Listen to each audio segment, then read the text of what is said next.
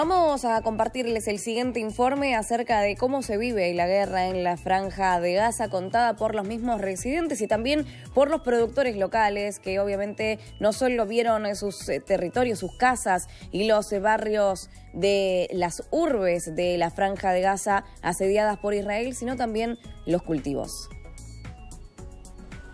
Los ataques indiscriminados de Israel y su bloqueo ahogan lentamente a Gaza. La producción agrícola de la región, que antaño fue la columna vertebral de la economía gazatí, está paralizada. Las tierras que alguna vez fueron fértiles son ahora extensiones estériles en las que se instalan tiendas de campaña improvisadas para acoger a los desplazados. Cada vez hay menos tierras cultivables y menos recursos, lo que ha provocado la subida de los precios de cereales, frutas y verdura.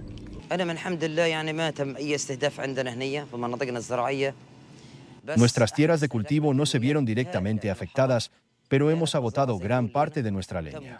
Tuvimos que talar nuestros olivos para obtener leña, lo que ha afectado gravemente a nuestros ingresos por la venta de aceitunas y aceite de oliva. Este era nuestro principal recurso económico y nuestro suministro de alimentos. Ahora, todo ha desaparecido.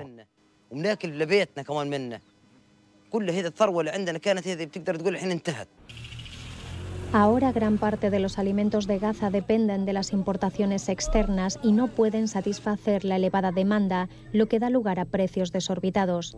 En agosto, la Organización de las Naciones Unidas para la Alimentación y la Agricultura, FAO, informó que más del 57% de la tierra cultivable de Gaza ha resultado dañada, el 33% de los invernaderos destruidos y la infraestructura crítica como pozos y paneles solares han sufrido pérdidas significativas.